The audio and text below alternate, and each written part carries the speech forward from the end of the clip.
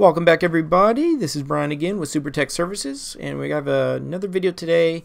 Uh, it's one we've been asked a couple times uh, by some of the members of the community so I thought I'd make a video.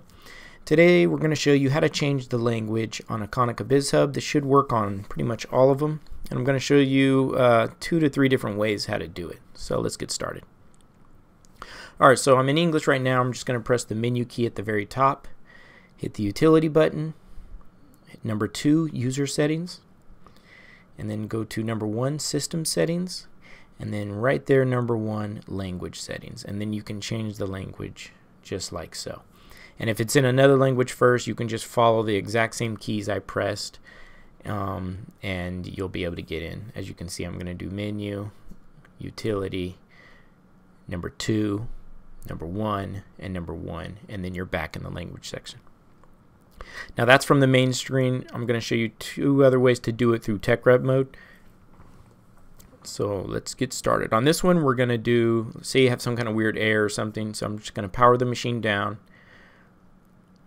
hold the reset button, power the machine on while continuing to hold the reset button for a little bit. This will bring you into tech rep mode manually. So like I said, say you have some kind of issue where the, you can't get to the main screen or there's some kind of weird error code or something and you need to change the language, um, this will work for you. Alright, so this does take a little bit of while. As you can see, I took my hand off the reset button now and I'm just going to let it boot up into TechRep mode. Alright, there we go. This is also the screen where you can hit trouble reset if you would like. But from here, just press stop 00, stop 01 like usual. Then you're going to put the CE password in, which is normally 9272 four times. Okay, this is the third one here, 9272, and then we're going to do it one more time, and then hit the end button.